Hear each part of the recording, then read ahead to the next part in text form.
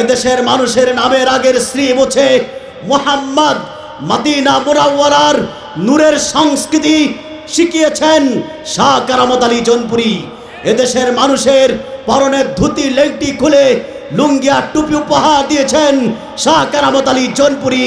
সেই শাহ কারামত আলী জনপুরীর বংশের উজ্জ্বল প্রদীপ, জনপুর সিলসিলার সূর্য সন্তান, বাংলার আলেমদের মাথার মুকুট মুসলমানদের ঐক্যের মূর্ত প্রতীক নাস্তিক ব্লগার বিরোধী আন্দোলনের অগ্র সৈনিক আল্লামা মুফতি ডক্টর সৈয়দ মোহাম্মদ রায়তুল্লাহ আব্বাসী ওয়া সিদ্দিকী পীর সাহেব জনপুরি হুজুর আজ আমাদের মাঝে আগমন করছেন। আলহামদুলিল্লাহ বলেন। আপনাদের সামনে কোরআন করিম থেকে সুরা আস সফ থেকে দশ নম্বর আয়াতে কারিমা তেলাওয়াত করেছি। একটি আয়াতকে সামনে রেখে কিছু কথা আপনাদের সামনে তুলে ধরার চেষ্টা করব।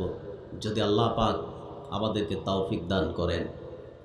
করুন আল্লাহ মামিন আপনারা কি ক্ষুধার্ত? আমি শুনছি আপনাদের এলাকায় খুব কাজ কাম চলতেছে এখন, ধান কাটাকাটি। তো কাজ তো করেন। কাজ করে কি সব শক্তি শেষ হয়ে গেছে? কিছুদিন আগে ছিল রমজান। রোজার মাস, ঠিক কি না? এই শাওয়াল মাসটিও কিন্তু রোজারই মাস। এ মাসেও ছয়টি রোজা আছে। যারা ছয়টি রোজা রাখবে মাংস মা রমাদান, সুম্মা আতবা আহু সিত্তাম্মিং শাওয়াল কানাকা সুয়া বিদ্যাহার যারা রমজানে এক মাস রোজা রেখে শাওয়াল মাসে তিরিশটি শাওয়াল মাসে ছয়টি রোজা রাখবে। আল্লাহ পাক পূর্ণ এক বৎসর রোজা রাখার সব তাদের আমল নামায় দিবে। তাহলে আমাদের শক্তি, আমরা রোজা রাখতে পারি, পরিশ্রম করতে পারি, মেহনত করতে পারি, তাতে আমাদের ইমানের প্রবলতা কমে না। ঠিক কিনা? শারীরিক শক্তি কমতে পারে, কিন্তু আমাদের ইমানের পাওয়ার কমতে পারে না। ইমানের শক্তিতে একবার খোলা আকাশের নিচেই তো বসে আছেন। আওয়াজ করে পড়ুন, আলহামদুলিল্লাহ। দেখুন, আল্লাহ সুবাহ আমি যে আয়াত আয়াতে কারিমা তেলাওয়াত করেছি, এই আয়াতে কারিমায় ইরশাদ করেছেন।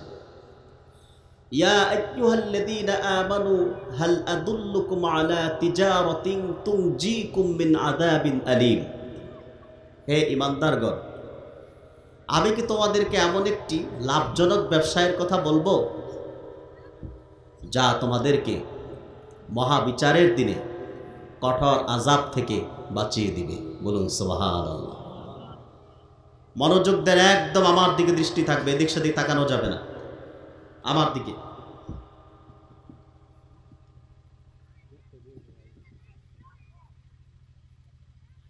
দেখেন আল্লাহ কি বলছেন হে ইমানদারগণ আমি কি তোমাদেরকে এমন একটি লাভজনক ব্যবসায়ের কথা বলব, সন্ধান দিব? যে লাভজনক ব্যবসা তোমাদেরকে মহাবিচারের দিন, শক্ত আজাব থেকে, কঠোর শাস্তি থেকে মুক্তি দিবে, রক্ষা করবে। সোবার আল্লাহ বলবেন না তাহলে সে ব্যবসাটা কি আল্লাহ পাক পরের আয়তে বলে تؤمنون بالله ورسوله وتجاهدون في سبيل الله بأموالكم وأنفسكم তোমরা আল্লাহ তাআলা ও তার রাসূলের প্রতি মান সুবহানাল্লাহ বলেন। এবং তোমাদের ধন সম্পদ ও জীবন দ্বারা আল্লাহর পথে দিন প্রতিষ্ঠায় জেহাদ করবে বলুন সুবাহান আল্লাহ দেখেন জালিকুম খৈরুল্লাকুম ইনকুম তুম তাআলামুন। এটি তোমাদের জন্য উত্তম যদি তোমরা বুঝতে পারো। আল্লাহ এখানে ব্যবসায়ের কথা বললেন, বাণিজ্যের কথা। কিসের কথা? জোরে বলেন। একটু আওয়াজ দেন না ভাই, যদি আওয়াজ না করেন কীভাবে কথা বলব? তিতাসের মানুষ তো এত কৃপণ না, মেহমানদারি তো আপনারা যথেষ্ট সচ্ছল। এবং কথা বলতেও কৃপণ না, এটা আমার বিশ্বাস। একটু কথা বলতে হবে। আল্লাহ এখানে ব্যবসার কথা বললেন কোন ব্যবসা?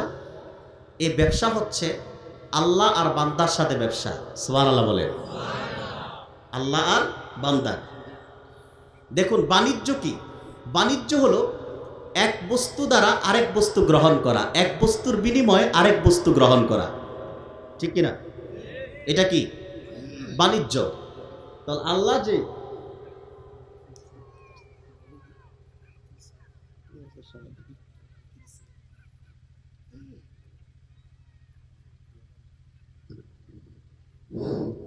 আলহামদুলিল্লাহ, আমাদের মাঝে উপস্থিত হয়েছেন আজকের মাহফিলের সম্মানিত সভাপতি হাজি মোহাম্মদ রেনুমিয়া তুলাকান্দি হাজি মোহাম্মদ রেনুমিয়া তুলাকান্দি হাজি মোহাম্মদ রেনুমিয়াকে আমাদের মাহফিল কমিটির পক্ষ থেকে শুভেচ্ছা অভিনন্দন এবং তার আসন গ্রহণ করার জন্য বিনীতভাবে অনুরোধ জানাচ্ছি। সম্মানিত ভাইয়েরা, তাহলে বাণিজ্য হচ্ছে এক বস্তুর বিনিময়ে আরেক বস্তু গ্রহণ করা। এখানে আল্লাহ যে বাণিজ্যের কথা বলছে সে বাণিজ্য হলো, দেখেন আল্লাহ ইমানদারদেরকে ডাক দিয়েছেন। হে বিশ্বাসীগণ, আমি কি তোমাদেরকে এমন একটি ব্যবসায়ের কথা বলব যা তোমাদেরকে সত্য আজাব থেকে রক্ষা করবে? সে ব্যবসা কি? হ্যাঁ ব্যবসাটা হচ্ছে, তোমরা আল্লাহ ও তার রসুলের প্রতি ইমান আনবে এবং নিজেদের সম্পদ ও জীবন দ্বারা আল্লাহর পথে জেহাদ করবে। বলুন সুবাহান এই আয়াতে কারিমার শানে নজুলে দুটো বক্তব্য এসছে, আমরা একটি বক্তব্য শুনব। রসুল করিম সাল্লা সাল্লামের সাহাবি হজরত ওসমান ইবনে মাজউন তিনি রসুল করিম সাল্লা সাল্লামের কাছে গেলেন আর বললেন, ইয়া রসুল আল্লাহ আমি আপনার কাছে অনুমতি প্রার্থনা করছি, যদি আপনি অনুমতি দেন। আমি আমার স্ত্রী খাওলাকে তালাক দিতে চাই এবং আমি সারাদিন রোজা রাখব, রাতের বেলা নামাজে কাটায় দেব এবং গোস্ত খাওয়া আমার জন্য, চিরদিনের জন্য হারাম করে নেব। অর্থাৎ বৈরাগ্যতা অবলম্বন করব। আল্লাহ রাব্বুল আলমিন হজরত জিব্রিল আমিনকে প্রেরণ করলেন।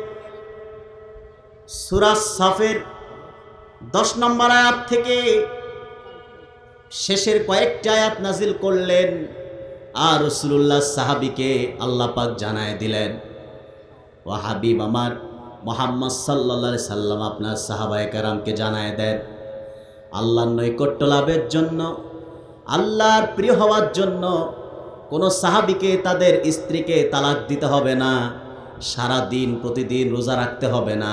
সারা রাত তাহাজ্জুদ, নফল নামাজ পড়তে হবে না। আমি তাদেরকে কিছু কাজ দিচ্ছি, সেগুলো করলে হয়ে যাবে। আর তার প্রথমটি হলো তো মেনুনা বিল্লাহি ওয়া রাসূলি। তারা আল্লাহ ও তার রাসূলের প্রতি ঈমান আনবে।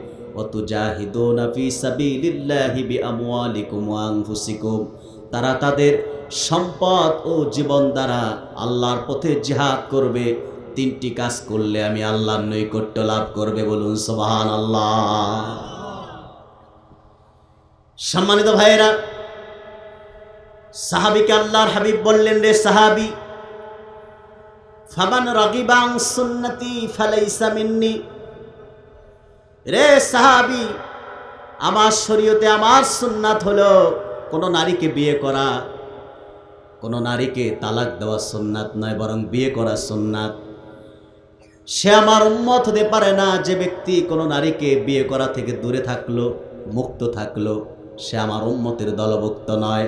জোরে বলেন সুবাহান আল্লাহ তাহলে আমাদেরকে তিনটি কাজ করতে হবে। কয়টি? আওয়াজ করে বলেন, কয়টি? আমরা আল্লাহর নৈকট্য লাভ করব, আল্লাহর বেহেস্তে যাব। তবে কাজ করতে হবে কয়টা? প্রথমটা হলো, দেখেন প্রথমে ডাক আমানু হালাদুল্লুকুম হে বিশ্বাসীগণ, ইমানদারগণ, আমি কি তোমাদেরকে এমন একটি ব্যবসায়ের সন্ধান দিব? এরপর আবার বলেন তো মিনুনা বিল্লাহি ওয়া রাসূলি, তোমরা ঈমান আনো। অর্থাৎ ইমানদারদেরকে যখন ঈমান আনয়নের কথা বলা হয়, এখানে স্পষ্ট অর্থ হয় যে, তোমরা যে ইমান এনেছ, মৌখিক স্বীকৃতিতে শুধু অটল থাকলে চলবে না তোমাদেরকে। তোমরা যে দাবির উপর, যে বিষয়ের উপর ইমান এনেছ, সেই বিষয়ে সব কিছু উৎসর্গ করতে হবে। অর্থাৎ অটল অবিচল থাকতে হবে। আমরা তো সবাই মুসলমানের ঘরের মুসলমান। ঠিক কিনা? বাপদাদার ইমানদার, আমরাও ইমানদার। কিন্তু আমাদেরকে ইমানের পথে, ইসলামের পথে অটল অবিচল থাকতে হবে, আল্লাহ পাক বলেন, ইন্নাল্লাযীনা ক্বালু রাব্বুনাল্লাহু সুম্মা ইসতাকামু। তাতানাজ্জালু আলাইহিমুল মালাইকা নিশ্চয়ই যারা বলে আমাদের রব আল্লাহ, কথাটি আন্তরিকতার সাথে যারা বলে সুম্মাস্তাকামু এবং তারা তাদের কথায় অটল অবিচল থাকে, তাদের মৃত্যুর আগে আল্লাহ পাক তাতানাজ্জালু আলাইহিমুল মালাইকা, আকাশের ফেরেশতা নাজিল করে দেন বলুন সুবহানাল্লাহ। তাহলে ইমানের উপর অটল থাকতে হবে, ইমানের উপর অটল থেকে জেহাদ করতে হবে। কি করতে হবে? এত আসতে। নামাজ ফরজ। নামাজ কি? রোজা? সারা রমজান মাস আমাদের খতিব সাহেবগণ রম- রমজানের রোজার ফাজাইল বর্ণনা করেছেন। ঠিক না আমরা নামাজের ফজিলত বর্ণনা করি, হজ জাকাতের ফজিলত বর্ণনা করি, কিন্তু জেহাদের আলোচনাটা বাংলাদেশে কম হয়। তুলনামূলক কম হয় কি না কিন্তু নামাজ যেমন ফরজ, রোজা ফরজ, হজ ফরজ জাকাত ফরজ, ঠিক তেমনই আরেকটি ফরজ, আল্লাহর পথে, আল্লাহর দিন প্রতিষ্ঠায়। কাফের, মুশরিক, বেঈমান, নাস্তিকদের সকল ষড়যন্ত্রকে আল্লাহর দিন রক্ষা করার জন্য জেহাদ করা ফরজ। ঠিক কিনা সম্মানিত ভাইয়েরা, যদি আপনি ইমান আনেন, আল্লাহর প্রতি ইমান আনেন, আল্লাহর হাবিবের প্রতি জিহাদ করেন, সম্পদ দিয়ে এবং জীবন দিয়ে আল্লাহ পাক বলেন يغفر لكم ذنوبكم ويدخلكم جنات تجري من تحتها الأنهار ومساكن طيبة في جنات عدن ذلك الفوز العظيم আল্লাহ রাব্বুল আলমিন বলেন, যদি তোমরা তা করো, অর্থাৎ ইমান আনো এবং আল্লাহর পথে জেহাদ করো, আল্লাহ পাক তোমাদের গুনাহ সমূহ মাফ করে দিবেন এবং এমন চান্নাতে তোমাদেরকে প্রবেশ করাবেন, যার তলদেশে ঝর্ণা ধারা প্রবাহিত হবে। বলুন সোবাহান আল্লাহ এবং জান্নাতে তোমাদেরকে, চিরস্থায়ী জান্নাতের মধ্যে সর্বোত্তম ঘর তিনি তোমাদেরকে দান করবেন। চিরন্তন জান্নাতে উৎকৃষ্ট ঘরের বসবাসকারী তোমাদেরকে বানায় দিবে বলুন সুবহান আল্লাহ এরপর আল্লাহ পাক আরেকটি ওয়াদা দেন। ওয়া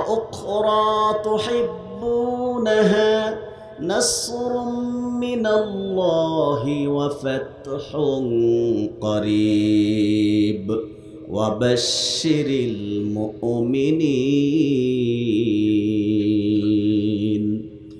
আল্লাহ রাব্বুল আলামিন বলেন আল্লাহ পাক তোমাদেরকে তোমাদের প্রিয় আরো একটি জিনিস দান করবেন আর তা হলো আল্লাহর পক্ষ থেকে সাহায্য এবং নিকটবর্তী সময়ে বিজয় আমরা আল্লাহর সাহায্য চাই কি চাই না জোরে বলেন চাই কি চাই না এবং বিজয় চাই কি চাই না মুসলমানের অভিধানে পরাজয় বলে কোনো শব্দ নাই সব শুধু বিজয় আর বিজয়। ঠিক কিনা বলেন?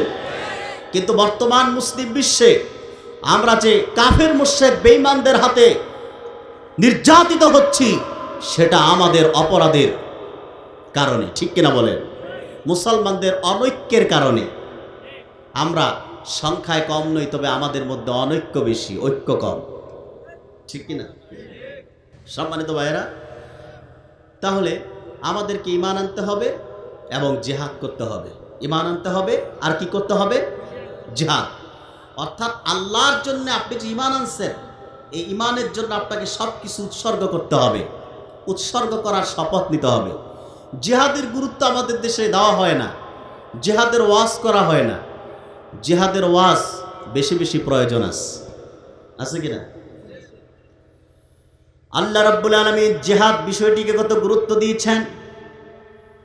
কোরআন কারীমে সূরা তাওবা আল্লাহ পাক বলেন وقاتلوا المشركين كافة كما يقاتلونكم كافة واعلموا أن الله مع المتقين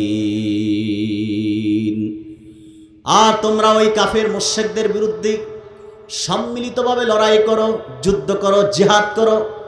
যেভাবে তারা তোমাদের বিরুদ্ধে লড়াই করে সম্মিলিতভাবে, আল্লাহ পাক শুধু কোনো একটি গোত্রের মানুষকে বলেন নাই, একটি জাতিকে বলেন নাই। গোটা পৃথিবীর সকল ইমানপন্থী, ইসলামপন্থীদেরকে আদেশ করেছেন, মুশ্রিকদের বিরুদ্ধে জিহাদ হবে সম্মিলিতভাবে। ঠিক কিনা?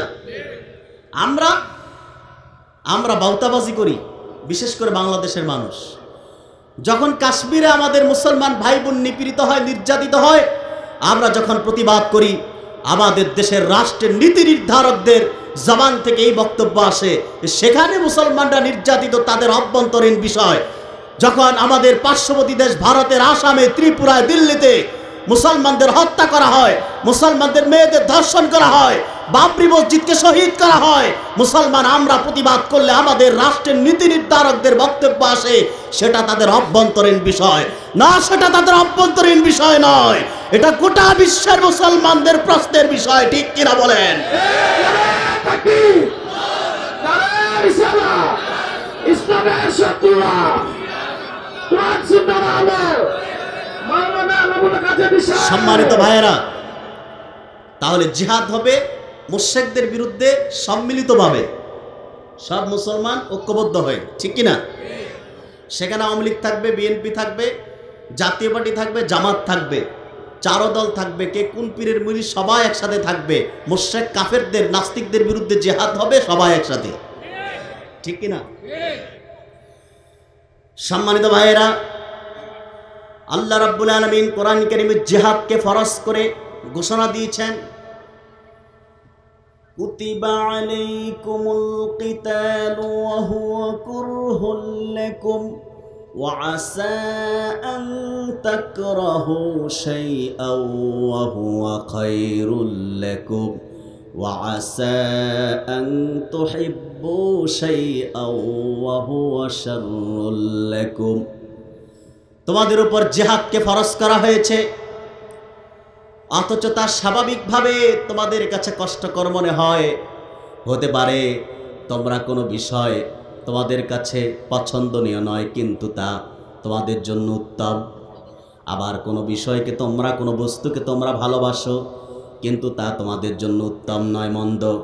আল্লাহ জানেন, তোমরা জানো না, ঠিক কিনা বলে? জিহাদটা একটু কষ্ট মনে হয়। কারণ জিহাদের কথা বললেই তো কত হুমকি আর ধমকি। ঠিক কিনা? আর জিহাদ করা তো অনেক উপরের বিষয়।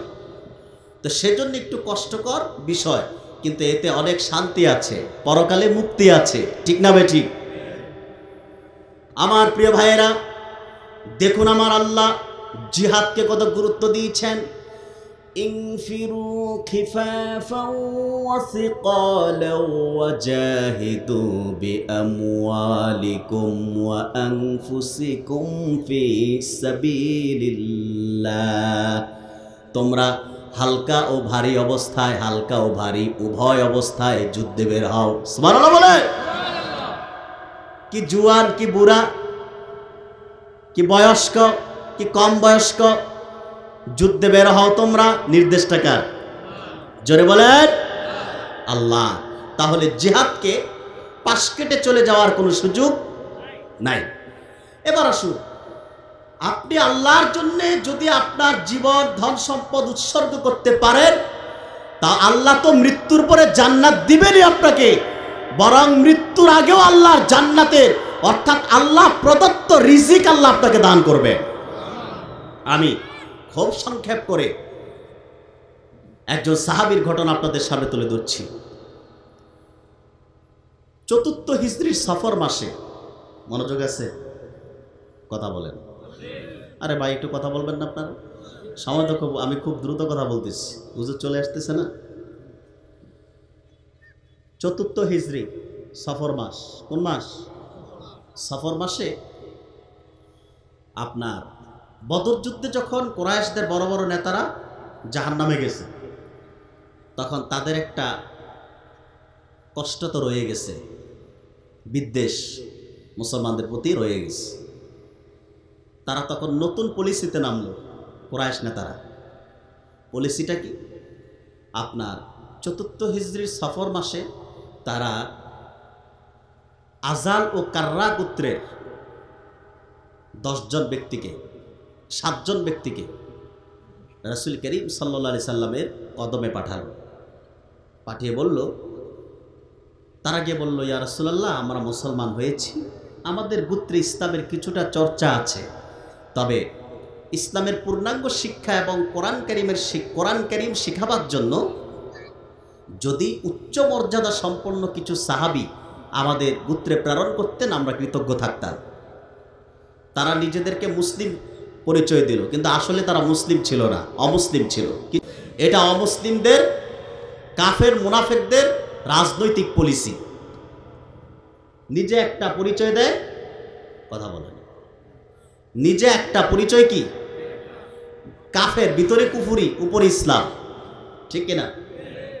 আল্লাহ হাবিব সরব বিশ্বাসে আসেম বিন সাবিত রদি আল্লাহ তালুর নেতৃত্বে দশজন মোবাল্লিক টিম সেখানে প্রেরণ করল। আরেকটি ইমাম বুখারি রহমতুল্লাহ বলেছেন যে না, আল্লাহর হাবিব সাল্লাম দশজনকে গোয়েন্দা হিসেবে তথ্য সংগ্রহের জন্য পাঠালো। আল্লাহর হাবিব সাল্লা সাল্লাম যখন আসিম বিন সাবিত রদিয়াল্লাহ তালাহুর নেতৃত্বে দশজনকে সেখানে পাঠালো, তারা যখন রওনা করলেন, কিছু পথ রাজি নামক ঝর্ণার কাছে যাওয়ার পর মোর্শেকদের লাহিয়ান গুত্রের একশত আরেক রাওয়ায়তে দুইশত তীরন্দাজ আগ থেকেই উৎপেতে ছিল রসুল্লাহ সাহাবিদেরকে দেখলে অতর্কিত আক্রমণ করবেন। আল্লাহর হাবিব সাল্লা সাল্লামের সাহাবিগণ মাদিনা মোনাওয়ারা থেকে কিছু খেজুর নিয়েছিলেন, খাদ্য নিয়েছিলেন, সেগুলো এক জায়গায় বসে খেলেন।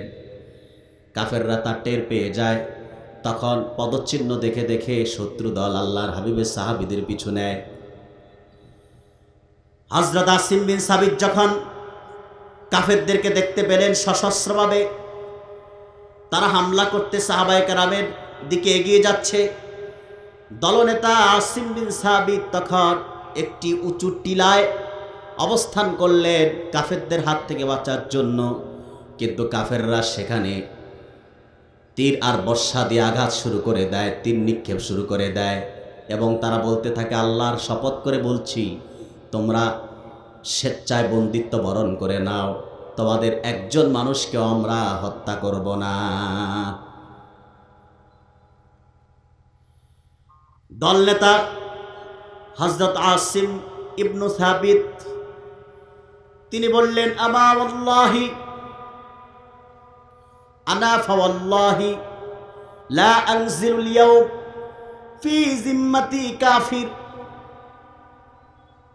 আল্লাহর কসম করে বলছি, আমি তো আজ কাফেরদের নিরাপত্তায় অবতরণ করব না। হে আল্লাহ, তোমার হাবিব মোহাম্মদ সাল্লামের কাছে মোহাম্মদ সাল্লা সাল্লামের নিকটে আমাদের সংবাদটি পৌঁছে দাও। বলুন সুবাহান আল্লাহ সাহাবাই কেরাম কাফেরদেরকে বিশ্বাস করেন নাই, ঠিক না মোর্শেকদেরকে বিশ্বাস করেন নাই। মোর্শেকদের প্রতি কোনো বিশ্বাস ছিল না। তখন তারা হামলা শুরু করে হজরত আসিম বিন সাবির সহ সাতজন সাথে সাথে শহীদ হয়ে যায়। বলুন সুবাহান বাকি আছে তিনজন, সেখানে ছিল হজরত খোবাইব রদি আল্লাহ তালাহু এবং জায়েদ ইবনু দা সিনা আরেকজন ছিল। এই তিনজন। হজরত খোবাইব সহ তিনজন। কাফেরদের প্রতিশ্রুতির প্রতি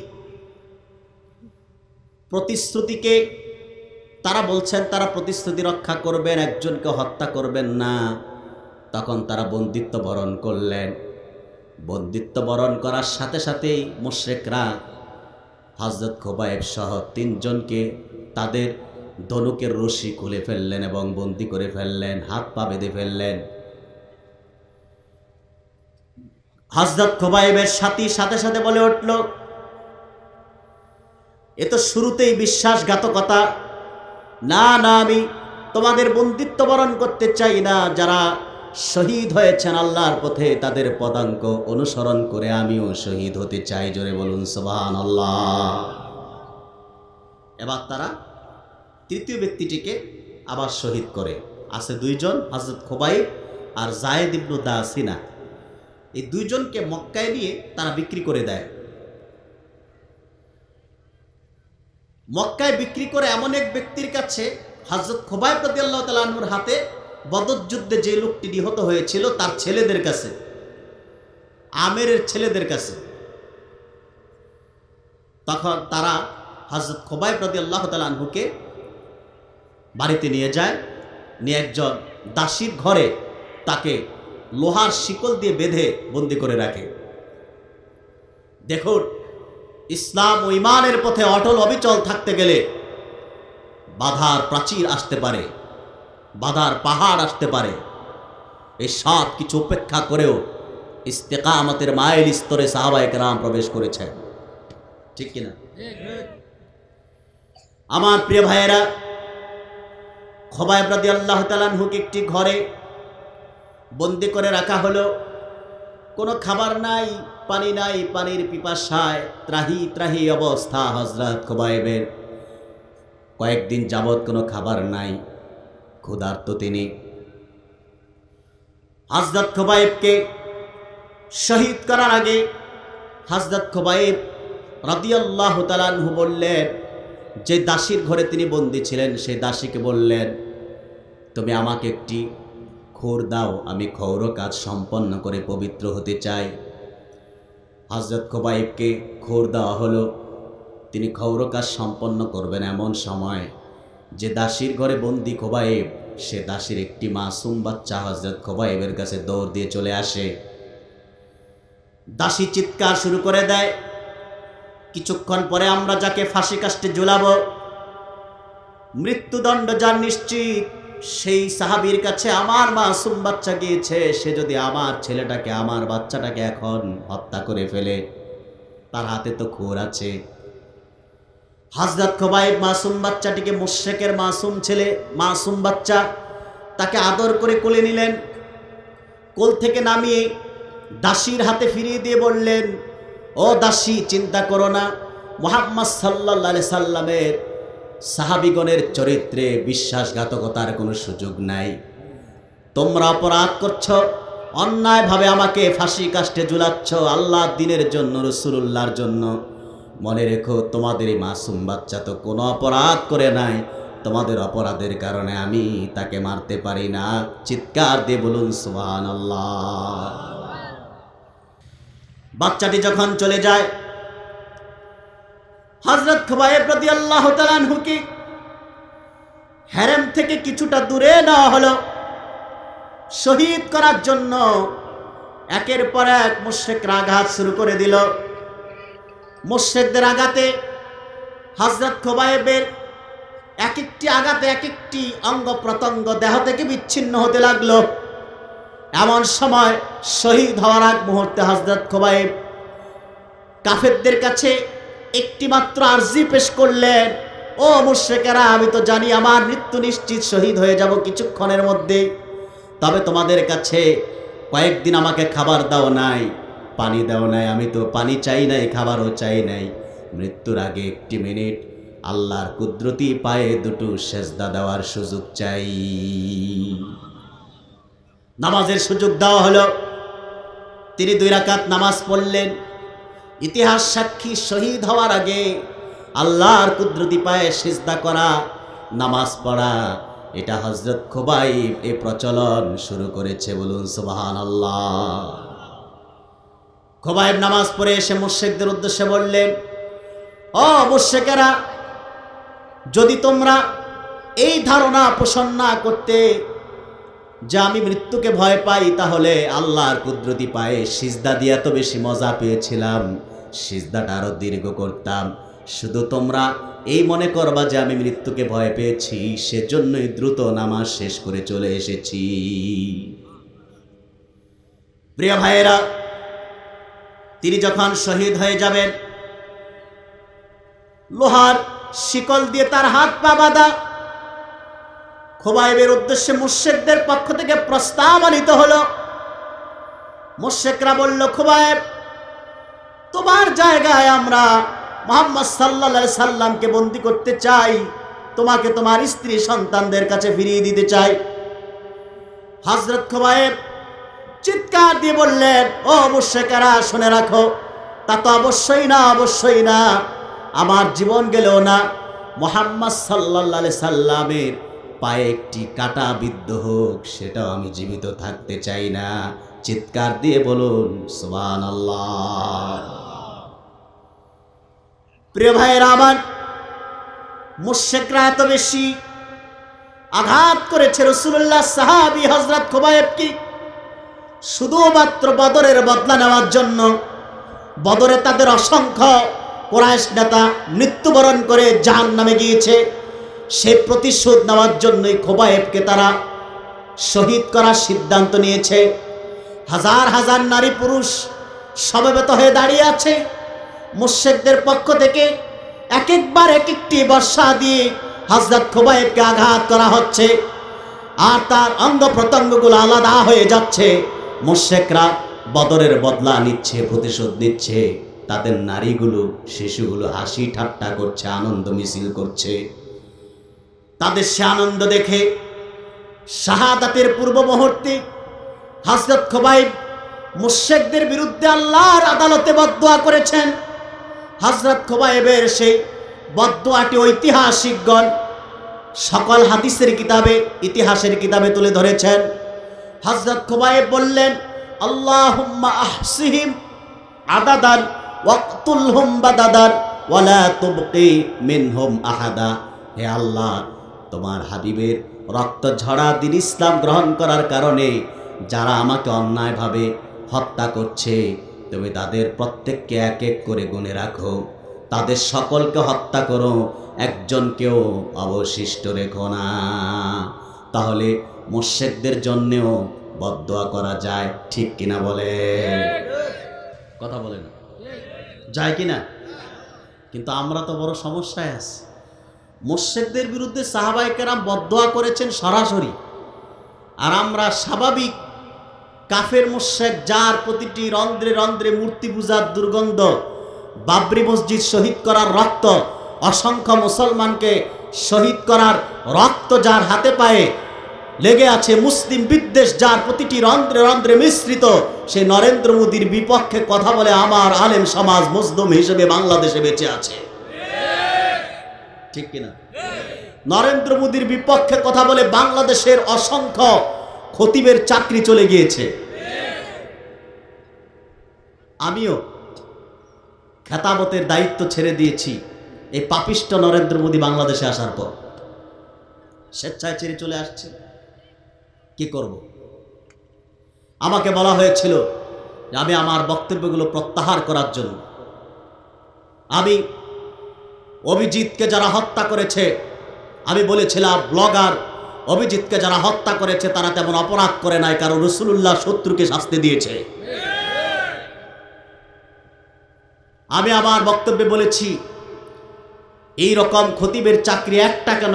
একশত চাকরিও যদি ছাড়তে হয়, মেম্বর ছেড়ে দিতে রাজি আছি।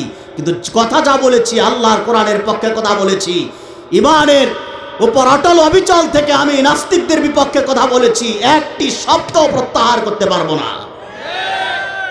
কারণ এ আদর্শ শিক্ষা পেয়েছি আমরা আব্বাসী মঞ্জিল থেকে। কাফের মুর্শেকদের সাথে কোনো আপোষ করা মমিনের চলে না, ঠিক কিনা বলেন? এ আদর্শ শিখেছি আমার শায়েক আল্লাহ বা আব্বাসী হুজুর থেকে। নাস্তিক তো নাস্তিক, মুরতাদ তো মুরতাদ, বাতিল তো বাতিল, তাদের সাথে আপোষ কেসের? ঠিক কিনা? সম্মানিত ভাইয়েরা তাহলে হাজরত খোবাই রাদি আল্লাহ তালু বদোয়া করলেন মোর্শেকদের জন্য।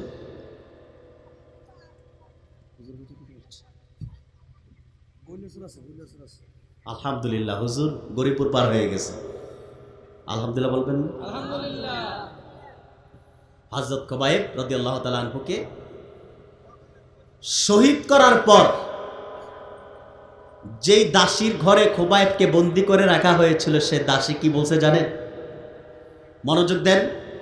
হজরত খোবায়েব যখন শহীদ হয়ে গেছে, তখন দাসী খোবায়েবের ব্যাপারে একটি মন্তব্য করেছে। যে ঘরে তিনি বন্দী ছিলেন, সেই ঘরের দাসী বললেন, শোনে রাখো, খোবায়েব আমার ঘরে বন্দি ছিল। আমি দেখতে পেয়েছি তখনও মক্কায় ফলের মৌসুম ছিল না, তার কাছে কোনো খাবার ছিল না, পানি ছিল না, ভাত, মাছ কিছুই তো ছিল না। আমি প্রতিদিন দেখতাম হজরত খোবাইব আঙ্গুরের থোকা থেকে আঙ্গুর নিজ হাতে ছিঁড়ে ছিঁড়ে খাচ্ছে। অমুসলিম সেই দাসী বর্ণনা করেছেন, মক্কায় যেহেতু ফলের মৌসুম ছিল না, আল্লাহর পথে শহীদ হবে শাহাদাত বরণকারী আল্লাহর হাবিবের সেই সাহাবিকে আল্লাহ পাক আল্লাহ প্রদত্ত রিজিক, মৃত্যুর আগেই বেহেস্তের রিজিক খাইয়েছেন। বলুন সুবহানাল্লাহ। কয়টা কাজ করতে হবে? জোরে বলে আল্লাহর প্রতি ইমান রাসূলের প্রতি ইমান আল্লাহর প্রতি জিহাদ, বলুন সুবহানাল্লাহ। দেখুন, আরেকটি ঘটনা আমি আপনাদের শোনাচ্ছি। অর্থাৎ ইমান এনে সব কিছু উৎসর্গ করতে হবে আল্লাহর জন্য। মক্কায় কিছুমাত্র লোক হজরত আবু বকর হজরত বেলাল, এরকম কিছু লোক ইসলাম কবুল করছেন। তখন কাফেরদের অত্যাচারে রসুল করিম সাল্লা সাল্লাম দারুল আরাকামে অবস্থান করলেন একজন বিশ্বস্ত সাহাবির বাড়িতে। সেখান থেকে দিনের প্রচার করতেন সাহাবাই কারামের খোঁজখবর নিতেন। মক্কায় তখন মোশেকদের সম্ভ্রান্ত পরিবারের একজন সন্তান ছিল, যুবক, তার নাম ছিল মুসাব বিন ওমায়ের। তিনি শুনলেন, দারুল আরাকাম মোহাম্মদ সাল্লাম নামের একজন আল্লাহর নবী পরিচয় দিচ্ছেন। তিনি বাপদাদার ধর্মের বিপক্ষে কথা বলছেন, নতুন ধর্মের প্রচার করছেন। অর্থাৎ কাবাগরে তখনও তিনশো ষাটটি মূর্তি স্থাপিত ছিল। কাবাগরের তিনশো ষাটটি মূর্তির পূজাকে তিনি শিরক বলছেন, হারাপ বলছেন। এক আল্লাহর তাওহিদের দিকে মানুষকে আহ্বান করছে। তাহলে রসুল্লাহর এই আদর্শ থেকে কি বোঝা যায়? যেখানে অপরাধ, সেখানেই হবে প্রতিবাদ। ঠিক কিনা যেখানে অপরাধ, সেখানে কি? কাবাগরে তখনও তিনশো ষাটটি মূর্তি স্থাপিত, আল্লাহর হাবিব তো কৌশল অবলম্বন করে নেয় তিনি মূর্তি পূজাকে শিরক বলেছেন। ঠিক কিনা বলেন? এক আল্লাহর তাওহিদের দিকে মানুষকে আহ্বান করেছেন। সেজন্য মুসলমানকে দীপ্ত শপথ গ্রহণ করতে হবে। বাতিল যত শক্তিশালী হোক, জালিম যত শক্তিশালী হোক, যেহেতু ফেরাউন টিকতে পারে নাই, নমরুদ টিকতে পারে নাই, আবু জাহেলের উত্তরসূরিরা টিকতে পারে নাই, যুগে যুগে নাস্তিক মুরতাদরা ইসলামের বিপক্ষের শক্তি টিকতে পারে নাই, পৃথিবীর ইতিহাসে ইসলামের কোন ইসলামের বিপক্ষের কোন শক্তি বাতিল টিকতে পারবে না, ঠিক কিনা বলেন?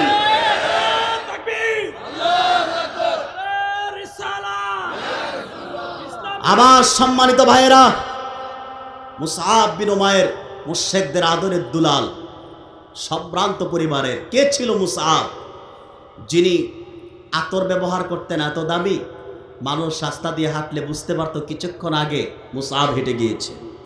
ইয়েমেনের জুতা ছিল তখন বিশ্ববিখ্যাত, ইয়েমেন থেকে জুতা এনে পড়তেন দামি দামি পোশাক, বিশ্ববিখ্যাত পোশাক পরতেন। তিনি শুনলেন দারুল আরাকাম মোহাম্মদ নামের একজন নতুন দিনের দাওয়াত দেন। তার মনে জাগলো যে একদিন যাওয়া দরকার, তিনি কি বলেন শোনা দরকার। পূর্বের সিদ্ধান্ত অনুযায়ী মুসাহাব বিন ওমায়ের চলে আসলো। দারুল আরাকামে সন্ধ্যার সময় দারুল আরাকাম এসে তিনি উপস্থিত হলেন। আল্লাহর আখিরি নবী সকল নবী ও রসুলগণের ইমাম আমার প্রিয় নবী যে মোহাম্মদ সাল্লাহ সাল্লাম মুসাব বিন ওমারকে ওমায়েরকে বসতে বললেন। তিনি বসলেন। আল্লাহর হাবিবের ওপর কয়েকটি কোরআন কেরিমের আয়াত নাজিল হলো। জিব্রিল যখন কোরআন নিয়ে আসলেন, আল্লাহর হাবিব সাহাবায়ে কেরামকে কোরআন কারিমের আয়াতগুলো তেলাওয়াত করে শোনালেন। রসুল্লাহ যখন কোরআন পড়ছিলেন, মুসাব বিন ওমায়ের মনোযোগ দিয়ে আল্লাহর কোরআন শুনছিলেন। রসুল্লাহর কণ্ঠে কোরআন শোনে মুসাব বিন ওমায়ের মস্তকটা নত হয়ে যায়, সুবহানাল্লাহ বলেন। আল্লাহর হাবিব আলাইহি সাল্লাম কোরআন তেলাওয়াত শেষ করলেন। আল্লাহর হাবিব নবীজি মোহাম্মদ সাল্লা সাল্লাম মুশেকদের আদরের দুলাল মুসাবের বুকে একটি নূরের হাত মোবারক রাখলেন। মুসাব বিন উমায়ের ইসলাম কবুল করার পর বর্ণনা করেছেন। যেদিন আমি প্রথম দারুল আরাকাম গিয়েছিলাম আল্লাহর হাবিবের নূরের কদমে, আল্লাহর হাবিব যখন আমার বুকে একটি হাত মুবারক রেখেছেন, সঙ্গে সঙ্গে আমার সারা দেহে প্রশান্তির ঝর্ণা ধারা বইতে শুরু করল। রসুল্লাহ যখন কোরআন তেলাওয়াত করছিলেন, আল্লাহর কোরআন আমি এত বেশি মজা পাচ্ছিলাম, আমার সারা দেহ শীতল হয়ে গেল। ইসলামের প্রতি আমি ধাবিত হতে লাগলাম। রসুল্লাহর কোরআন তেলাওয়াত শেষ। আরবের সম্ভ্রান্ত পরিবারের সন্তান মুসাব মুশেকদের আদরের দুলাল দাঁড়িয়ে গেল আর বলল, ইয়া রাসূলুল্লাহ, ইয়া হাবিব আল্লাহ অসংখ্য প্রশ্ন নিয়ে আপনার কদমে এসেছিলাম। অসংখ্য সংশয় নিয়ে আপনার কদমে এসেছিলাম। সকল সন্দেহ আর সংশয়ের অবসান ঘটেছে। প্রশ্নের জবাব আমি পেয়ে গেছি। আপনি যখন আমার বুকে হাত রাখছেন সারা দেহে প্রশান্তির ঝর্ণা ধারা বয়ে গেছে। আপনার জবান থেকে যখন কোরআন শুনলাম, মনে হলো পৃথিবীর এর চেয়ে আর কোনো দামি, মধুর বাণী আমি আর শুনি নাই। ইয়া রসুল আল্লাহ আর কোনো প্রশ্ন নাই, আর কোনো প্রশ্ন নাই। আপনি যদি আপনার পবিত্র একটি হাত আমার দিকে বাড়িয়ে দিতেন, এই মুহূর্তে আপনার পবিত্র হাতে হাত রেখে আমি মুসাব কালেমা পরে মুসলমান হয়ে যেতাম। হাজরত মুসাব বিনুমায়ের রসুল্লাহর হাতে হাত রেখে কালেমা পড়লেন, মুসলমান হয়ে গেলেন। ইসলাম কবুল করার পর বাড়িতে গেলেন। ভাবলেন, মা মুশ্রেক, বাবাও তো মুশ্রেক। যদি আমি এখন ইমানের কথাটা প্রকাশ করি, তাহলে বেলালকে যেভাবে নির্যাতন করা হয়েছে, আমাকেও তো সেভাবেই নির্যাতন করা হবে। তখন মুসাব ইমানের কথাটি গোপন রাখলেন। মাঝে মধ্যে আল্লাহর হাবিবের কদমে আসা যাওয়া করতেন। সেটা গোপনে প্রকাশ্যে নয়। কিন্তু হঠাৎ করে একদিন আসতেছেন, কোরাইশদের গোয়েন্দা টিম এতটাই শক্তিশালী ছিল, মুসাব, দারুল আরাকাম মাঝে মধ্যে আসতেন, গোয়েন্দাদের নজরে পড়ে যায়। একদিন দেখতে পান মুসাব বিন উমায়ের দারুল আরাকাম আসতেছে। সন্দেহ বাড়ে, ব্যাপার কি? এখানে তো গরিবরা যায়, অর্থাৎ যারা মুসলমান, কোরাইশরা তাদেরকে গরিব মনে করত। কি মনে করত? এখনও তো ইসলামপন্থী আলেম আমাদেরকে মানুষ মনে করে যে এরা গরিব টরিব, ঠিক কিনা? তখন আরেকদিন মুসাব বিন উমায়ের আকাশের দিকে হাত তোলে প্রার্থনা করছে। গোয়েন্দাদের নজরে আসে। ব্যাপার কি? এভাবে তো মোহাম্মদ ইসলামে না আকাশের দিকে হাত তোলে প্রার্থনা করে? সন্দেহ আরও বাড়ে। মনোযোগ আছে? বিন উমায়ের আরেকদিন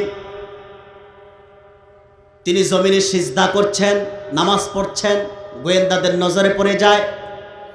ব্যাপার কি, মোহাম্মদ সাল্লা সাল্লাম এভাবে জমিনে সিজদা করে, তার অনুসারীরা সিজদা করে। সকল সন্দেহের অবসান ঘটে যায় কোরআশদের তারা স্পষ্ট হয়ে যায়, নিশ্চয়ই মুসাব মুসলমান হয়ে গিয়েছে। কথাটি মুসাব বিন উমায়ের মা বাবার কাছে চলে আসলো তথ্যটি।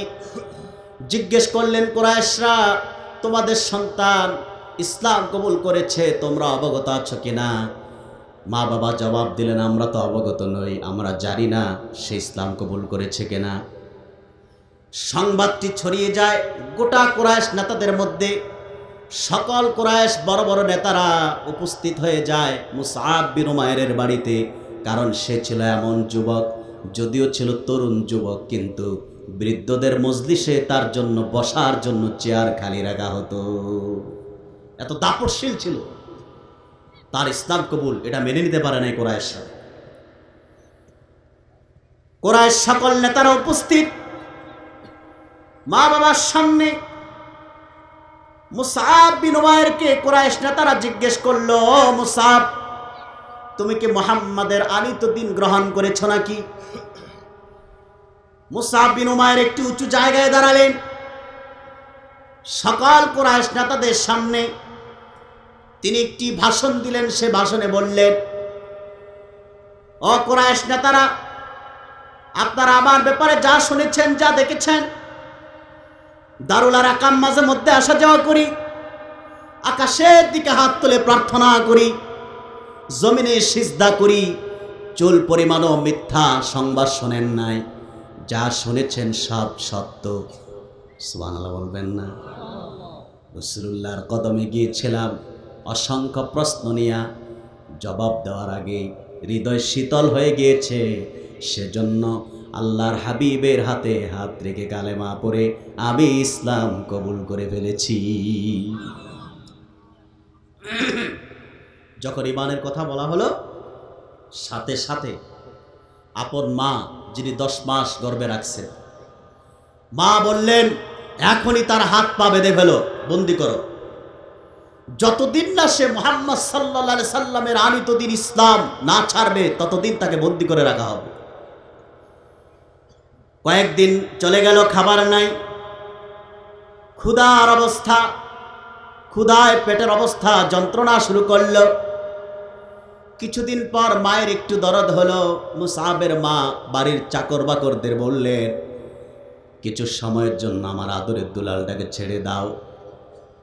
একটু সময়ের জন্য যখন হাতের বাদন পায়ের বাদন খুলে দেওয়া হলো, কয়েকদিনের ক্ষুধার্ত মুসাব চিন্তা করেন নাই ক্ষুধার কথা। সঙ্গে সঙ্গে দারুলার কাবে চলে যায় আল্লাহর হাবিবের পবিত্র নূরময় চেহারা মোবারক দেখে কয়েকদিনের পেটের ক্ষুধা নিবারণ করে নেয়।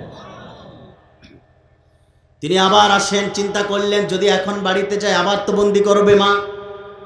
শুনলেন, মাক্কাতুল মুকাররামা থেকে আবি সিনিয়ায় একদল সাহাবি বাদশাহ নজ্জাসির শহরে হিজরত করবেন।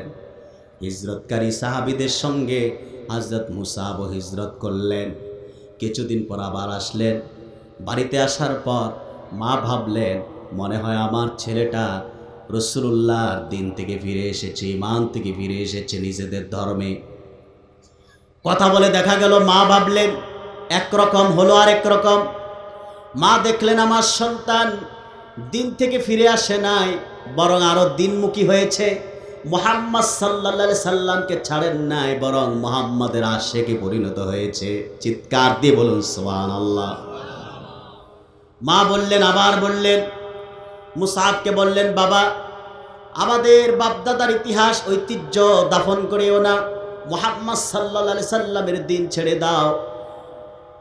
মুসাব বললেন, না মা, কালেমা একবার পড়েছি, এমন স্বাদ পেয়েছি, ইমানের যে মজা পেয়েছি, এই ইমান আমি ছাড়তে পারব না। মুসাবের মা বললেন, আবার আবার তাকে বন্দি করো। এবার মুসাব বিন ওমায়ের রাগে অগ্নি শর্মা হয়ে প্রতিবাদের তীব্র আগুনে জ্বলে উঠে বললেন, মা, এই মুহূর্তে যদি কেউ আমাকে বন্দি করতে আসে, আমি তাকে হত্যা করব। আর যার নির্দেশে আমাকে বন্দি করতে আসবে, আমি তাকেও হত্যা করব। মা জানতেন আমার ছেলেটা যা বলেন তাই করেন। অনর্থক কোনো কথা আমার যুবক বলে না। মা তখন তার স্পষ্ট কথা ছেলেকে জানায় দিলেন ও আমার কলিজার টুকরা সন্তান, দশ মাস গর্ভে ধারণ করেছি তোমাকে। সম্ভ্রান্ত পরিবারে জন্ম হয়েছিল তোমার। অনেক অঢাল সম্পদের মালিক হতে তুমি। কিন্তু শুনে রাখো, এই মুহূর্তে তোমার আর আমার সমস্ত সম্পর্ক ছিন্ন হয়ে গেল। এখন থেকে তুমি আর আমার সন্তান নাও, আমিও তোমার মা নই। ভুলে যাও আমাকে। যেখানে মন চায় সেখানে চলে যাও। আমাদের সম্পদের এক টুকরাও তুমি পাবে না। চুল পরিমাণ সম্পদের ভাগিদারও তুমি হবে না। পরনে যা আছে তা নিয়ে যেখানে মন চায় সেখানে চলে যাও। হাজরত মুসাহাব বিন ওমায়ের অত্যন্ত শান্ত, সাবলীলভাবে মায়ের উদ্দেশ্যে তাওহিদের দাওয়াত দিলেন, মা, তোমাকেও আমি মোহাম্মদ সাল্লা সাল্লামের আনিত দিন ইসলাম কবুল করার আহ্বান করছি। মা বললেন, রে কলিজার টুকরা সন্তান যদি আমার দেহের সমস্ত বাকশক্তি লোপ পেয়ে যায়, তারপরও আমি মোহাম্মদ সাল্লা সাল্লামের দিন গ্রহণ করতে পারি না, বাপদাদার ইতিহাস, ঐতিহ্যকে দাফন করতে পারি না, তুমি চলে যাও। হজরত মুসাব বিলাসিতার জীবন পরিত্যাগ করে, মায়ের আদর, ভালোবাসা, স্নেহ, মমতা আবর্জন করে, বাবার আদর ছেড়ে মায়ের মুখখানি শেষবারের মতো দেখে দারুল আরাকামের দিকে রওনা হয়ে যায়। রসুল্লাহর কদমে চলে আসেন। যে যুবক বিশ্ববিখ্যাত পোশাক পরত, দামি খুশবু ব্যবহার করত। ইসলাম কবুল করার কয়েক বছর পরের ঘটনা, আল্লাহর হাবিবের সাহাবায়ে কেরাম মসজিদে নববীতে বসে আছেন। মুসআব বিন ওমায়ের রাদিয়াল্লাহু তাআলা হেঁটে যাচ্ছেন। সাহাবীগণ লক্ষ্য করলেন, মুসআবের গায়ে একটি তালিযুক্ত পোশাক। সাহাবীগণ লজ্জায় মাথা নত করে ফেললেন আহারে। যে যুবকের গায়ে বিশ্বের বিখ্যাত পোশাক থাকতো, ইয়েমেনের দামি জোতা থাকতো, দামি খুশবু থাকতো, ইসলাম কবুল করার কারণে আজ তার গায়ে তালিযুক্ত পোশাক লেগে আছে। প্রিয় ভাইয়ের আমার, তিনি বিলাসিতার জীবন ছাড়লেন মা বাবার আদর, স্নেহ, মমতা ছেড়ে আসলেন, সম্পদ বর্জন করলেন। শুধু তাই নয় হজরত মুসাব বিনুমায়ের বদরের বদলা নেওয়ার জন্য প্রতিশোধ গ্রহণ করার জন্য মুশেকরা হুদে গিয়েছিলেন। অহুদ যুদ্ধে মুনাফিক সর্দার আবদুল্লাহ ইবনে উবাই ইবনে সালুল সহ ইহুদিদের সাথে মুশেকদের একটা আতাত হয়েছিল, যেভাবেই হোক অহুদের ময়দানে আল্লাহর হাবিবকে শহীদ করা লাগবে। এই এতে জড়িত ছিল মুসলিম নামধারী মুনাফেক সর্দার। বর্তমানে আছে কিনা মুনাফেক? আছে কি না? মুখে ইসলামের কথা বলে, মুখে পীর দাবি করে, আন্দোলনের কথা বলে, আবার প্রতিবাদী আলেমদেরকে বন্দি করার জন্য এরাই পলিসি করে। ঠিক কিনা সম্মানিত ভাইয়েরা, তাহলে তাহলে মুসাদ গেলেন অহুদের ময়দানে। মুশেকরা অহুদ যুদ্ধে আল্লাহর হাবিবকে শহীদ করার জন্য অপচেষ্টা চালালেন। বিষাক্ত তীর আল্লাহর হাবিবের দিকে বৃষ্টির মতো ছুটতে লাগলেন বৃষ্টির মতো তীর আসছে আল্লাহর হাবিবের দিকে। সমস্ত তীরকে প্রতিহত করছিলেন যুবক সাহাবি আবু রদিয়াল্লাহ তালানহু আলহামদুলিল্লাহ বলেন, নারায় তাকবীর, নারায় আজকের প্রধান মেহমান, প্রধান মুফাসসির শাইখুল হাদিস আল্লামা মুফতি ডক্টর সৈয়দ মোহাম্মদ এনায়েতুল্লাহ আব্বাসি ওয়া সিদ্দিকী পীর সাহেব জনপুরি হুজুর আসমানিয়া পার হয়ে গিয়েছে। এবার আর কত মিনিট লাগতে পারে আপনারাই বুঝেন। ইনশাল্লাহ আমি আমার বক্তব্যটা গুছিয়ে নিই। সম্মানিত ভাইয়েরা অহুদ যুদ্ধে তীর আসতেছে বিষাক্ত তীর আল্লাহর হাবিবের দিকে। তখন আল্লাহর হাবিব সাল্লা সাল্লামের দিকে তীর আসতেছে, সমস্ত তীর প্রতিহত করছেন একজন যুবক সাহাবি। ভাই সাউন্ড বাড়ান, হুজুর আসার আগে মাইকটা একটু ঠিক করে, একটু বাড়ান। এই যে স্পিকারগুলো সাউন্ড দেয় মুসাদ বিন আবু তালহা রদি আল্লাহ তিনি প্রতিহত করছেন সমস্ত তীর। আল্লাহর হাবিব চেহারা মোবারক একটু পিছনের দিকে ঘুরালেন। হজরত আবু তালহা রসুলুল্লাহর ভালোবাসায় চিৎকার দিয়ে বলে উঠলেন, ইয়া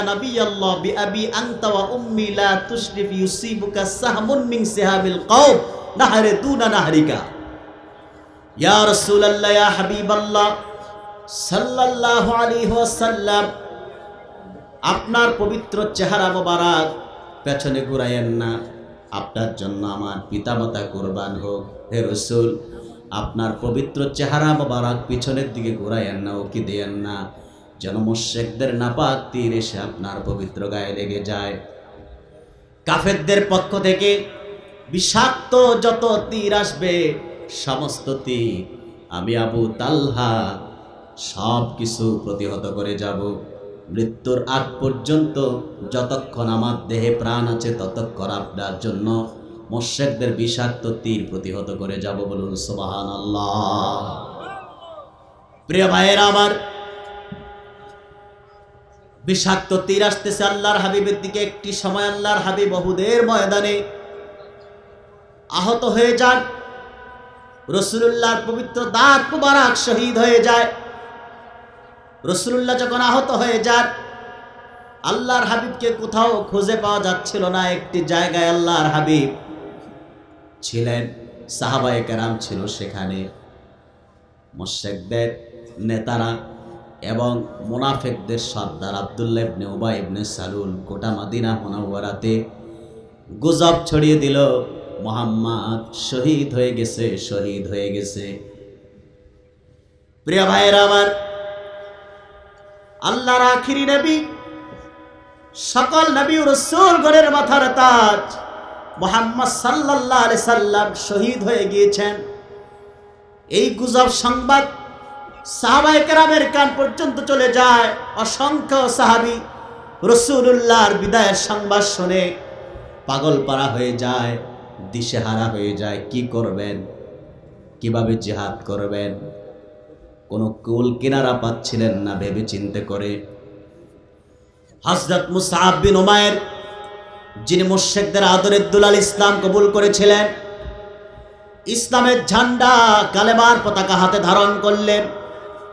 আর তিনি তেলাওয়াত করতে লাগলেন উচ্চ কণ্ঠে মুহাম্মাদুন ইল্লা কদ খালাত করতে করতে পতাকা নিয়ে, কালামের পতাকা নিয়ে সামনে বাড়তে লাগলেন। যত মুশরিক আসলো, সকল মুশরিকদেরকে মুসআব বিন উমায়ের তরবারির আঘাতে প্রতিহত করতে লাগলেন ওহুদের ময়দানে। অবশেষে মুশরিকরা হযরত মুসআব বিন উমায়েরকে টার্গেট করলেন। মুসআব বিন উমায়েরকে টার্গেট করে তার উপর একের পর এক বর্ষা চালাতে লাগলেন। বর্ষা দিয়ে যখন আঘাত করলেন, বর্ষার আঘাতে মুসআব বিন ওমায়ের ডান হাতটি দেহ থেকে বিচ্ছিন্ন হয়ে মাটিতে পড়ে যায়। রসুল্লাহ সাহাবি মুসআব বিন ওমায়ের মুসআব বিন ওমায়ের বাম হাতে কালেবার পতাকা ধারণ করলেন। যুদ্ধ করতে করতে ওহুদের ময়দানের সামনে শত্রু দল প্রতিহত করতে অগ্রসর হলেন। আরেকজন মুশ্রেক এসে বাম হাতে বর্ষা দিয়ে আঘাত করলেন। এবার বর্ষার আঘাতে মুসাব বিন উমায়ের বাম হাতটিও দেহ থেকে বিচ্ছিন্ন হয়ে যায়। দুই হাত বিহীন হুদের প্রান্তরে মুসাব বিন উমায়ের ছুটে চলছেন শত্রু দলের বিপক্ষে। জিহাদ করে যাচ্ছেন। অবশেষে মুসাব বিন উমায়েরকে কয়েকজন মুশ্রেক মিলে একের পর এক আঘাত, তরবারের আঘাত, তীর আর বর্ষা দিয়ে যখন আঘাত করতে লাগলেন, মুসাব বিন উমায়ের শাহাদাত বরণ করলেন, শহীদ হয়ে গেলেন। অহুদ যুদ্ধে আল্লাহর হাবিবের আপন চাচা হজরত হামজা রদি আল্লাহ তালানহু শহীদ হয়েছিলেন। হজরত হামজার কলিজা বের করা হয়েছিল, কাঁচা চর্বণ করেছিল আবু জেহেলের স্ত্রী। হজরত হামজার নাক কানগুলো কেটে মালা বানিয়ে গলায় পরিধান করে মোশেকরা আনন্দ মিছিল করেছিল। আমার রসুল এত বেশি কষ্ট পান নাই আপন চাচার শাহাদাতে। অহুদ যুদ্ধ শেষে যখন শহীদদের লাশগুলো গণনা করা হচ্ছে, তখন হজরত মুসাহ বিন উমায়ের মুসাহ বিন উমায়ের উমায়ের রদি আল্লাহ তালানহুর লাশ খুঁজে যখন পাওয়া গেল, শহীদদের লাশগুলো গণনা করা হচ্ছে, মুসাব বিন রদিয়াল্লাহ তালাহুর লাশটি এত বেশি আঘাত করেছে মোশেকরা বর্ষা দিয়া হজরত বিন ওমায়ের রদিয়াল্লাহ তালাহুর লাশটি দেহটা কালো হয়ে গিয়েছে। আঘাতে। আল্লাহর আখিরি নবী মোহাম্মদ সাল্লা সাল্লাম মুসাব বিন ওমায়ের লাশ দেখে কান্নায় ভেঙে পড়লেন। সাহাবায়ে কেরাম কান্না শুরু করলেন রহুদের ময়দানে। আল্লাহর হাবিব বললেন, ও সাহাবায়ে কেরাম, আমার মুসাবকে দাফন করো। কাপনের কাপড় পরাবেন, এমন সময় দেখতে পেলেন মক্কার সবচেয়ে ধনী পরিবারের সন্তান মুসাবের একটি মাত্র চাদরের টুকরা আছে। যে চাদরের টুকরা দিয়া শরীরের নাবির উপরের অংশ যদি ঢাকা হয়, নিচের অংশটি খালি হয়ে যায়। নিচের অংশ ঢাকলে উপরের অংশটিও খালি হয়ে যায়। যেই যুবক মক্কার ধনী পরিবারের শ্রেষ্ঠ সন্তান, কিন্তু তার মৃত্যুর পরে সম্বল বলতে কিছুই নাই একটি মাত্র চাদরের টুকরা যা দিয়ে তার দেহ ডাকা যায় না, কাপনের কাপড়ও হয় না। বিশ্ব মানবতার মুক্তির সানাদ, আল্লাহর আখিরি নবী, নূর নবীজি মোহাম্মদ আলাইহি সাল্লাম এ অবস্থা দেখি সাহাবায়ে কেরামকে বললেন, ও আমার সাহাবায়ে কেরাম, ফাআমারানা রাসূলুল্লাহ সাল্লাল্লাহু আলাইহি ওয়াসাল্লাম আন নুগাত্তিয়া রাসাহু ওয়া নাজআলু আলা রিজলাইহি। শাইআম মিনাল ইসকির রে সাহাবায়ে কেরাম, আমার সাহাবী মুসআব বিন উমায়ের যে চাদরের টুকরাটি আছে, সে চাদর দিয়া তার ওপরের অংশটি ঢেকে দাও, নিচের অংশে ঘাস বিছিয়ে দাও। আমার সাহাবি ইমান আনয়নের পর ধন সম্পদ পরিত্যাগ করেছে, মায়ের আদর, বাবার স্নেহ মমতা পরিত্যাগ করেছে। অবশেষে আল্লাহর সন্তুষ্টির জন্য আল্লাহর সাথে তার ওয়াদা, প্রতিজ্ঞা পূরণ করার জন্য ওহুদের ময়দানে আমার মহাব্বতে রক্ত ঢেলে জীবন দিয়ে শাহাদাতের মর্যাদা লাভ করেছে। আমি ওহুদের প্রান্তর থেকে আল্লাহর জান্নাতের গ্রাণ পেতে যাচ্ছি। আমার শাহাদাত বরণকারী সাহাবিদের জন্য চিৎকার দিয়ে বলুন, সুবহানাল্লাহ। তাহলে ভাইয়েরা, আল্লাহর রাস্তায় খরচ করতে হবে। ইমান আনতে হবে আল্লাহর প্রতি। ইয়া আইয়ুহাল্লাযীনা আমানু হাল আদুল্লুকুম আলা বলেছেন, হে বিশ্বাসীগণ, আমি কি তোমাদেরকে এমন একটি লাভজনক ব্যবসায়ের কথা বলব যা তোমাদেরকে মহাবিচারের দিনে কঠোর আজাব থেকে বাঁচিয়ে দিবে? তুমিনুনা বিল্লাহি ওয়া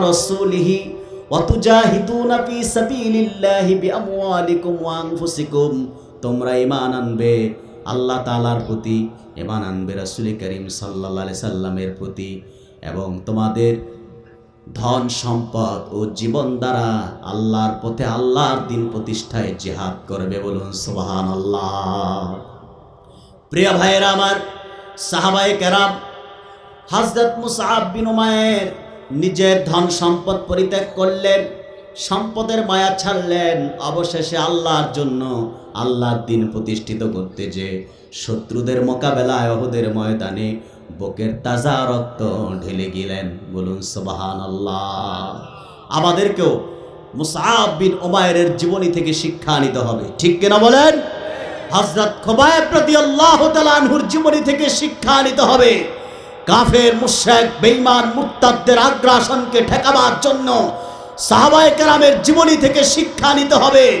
দিনের জন্য আল্লাহর জন্যে ইমানের পথে অটল অবিচল থেকে সম্পদ ছাড়তে পারি আমরা এবং প্রয়োজনে আল্লাহর দিনের জন্য আল্লাহর দিন প্রতিষ্ঠায় জীবন উৎসর্গ করতে পারি আমরা, ঠিক কিনা বলেন? প্রিয় ভাইরা আজ আমাদের সামনে আমাদের মাঝে এমন এক ব্যক্তি উপস্থিত হচ্ছেন, এমন একজন আলবিদিন উপস্থিত হচ্ছেন, যার পূর্বপুরুষগণ বিশেষ করে বাংলাদেশের ইতিহাস, বাংলার পৃথিবীর মানচিত্রে বাংলার সূর্য যতদিন উদিত হবে, ততদিন বাংলাদেশের মানচিত্রে ইতিহাসে কথায় লিখনিতে একজন ব্যক্তির নাম লেখা থাকবে, ইতিহাসের পাতায় থাকবে, স্মরণীয় হয়ে থাকবে। তিনি আর কেউ নন। বাংলা আসামের অসংখ্য মানুষকে হৃদায়তের পথে আহ্বানকারী হাতিয়ে বাঙ্গাল, শাহ সুফি কারামত আলী জৈনপুরি রহমতুল্লাহ ঠিক কেনা বলেন? এদেশের মানুষ যখন নামের আগে শ্রী লিখত পরনে ধুতি, লেংটি পরিধান করে হিন্দুয়ানি সংস্কৃতিকে দাঁত দিয়ে কামড় দিয়ে ধরে রেখেছিল, ঠিক তখন ভারতের উত্তরপ্রদেশ জৌনপুরের মোল্লাটোলা হতে হাতিয়ে বাঙ্গাল শাহ কারামত আলী জৌনপুরি রহমতুল্লাহ আলাই বঙ্গোপসাগরের উত্তাল ঢেউ পাড়িয়ে দিয়ে বসরা নিয়ে কলকাতা হয়ে বাংলাদেশে প্রবেশ করেছিল। ইসলামের ঝান্ডা, দাওয়াতের ঝান্ডা নিয়ে তিনি বাংলাদেশে এসে বাংলার এক প্রান্ত থেকে আরেক প্রান্তে উত্তর থেকে দক্ষিণে, পূর্ব থেকে পশ্চিমে ঘুরে ঘুরে দেশের মানুষকে আল্লাহ দিনের পথে আহ্বান করেছেন, দাওয়াত তাবলিগের কাজ করেছেন। শাহ সুফি কারামত আলী জৈনপুরীর মেহনতে, শাহ কারামত আলী জৈনপুরী রহমতুল্লাহর দাওয়াতে একজন নয়, দুইজন নয়, বাংলা, আসাম, ত্রিপুরার দুই কোটি মানুষ ইসলাম কবুল করে মুসলমান হয়েছে, ঠিক কিনা বলেন? এদেশের মানুষের নামের আগের স্ত্রী মুছে মোহাম্মদ মাদিনা মুরাওয়ারার নূরের সংস্কৃতি শিখিয়েছেন শাহ কারামত আলী জনপুরি। এদেশে